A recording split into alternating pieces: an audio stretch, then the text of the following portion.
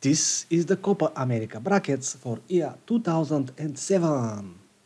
And so, on the quarterfinals, we had Venezuela playing against Uruguay, where Uruguay won with 4 to 1.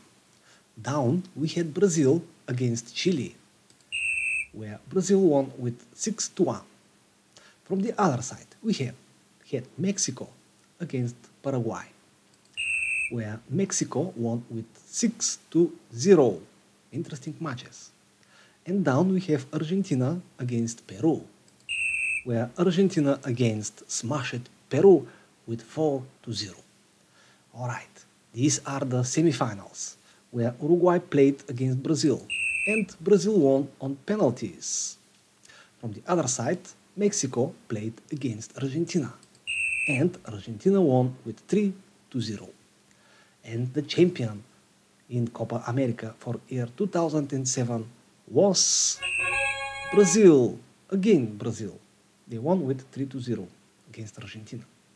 Mm.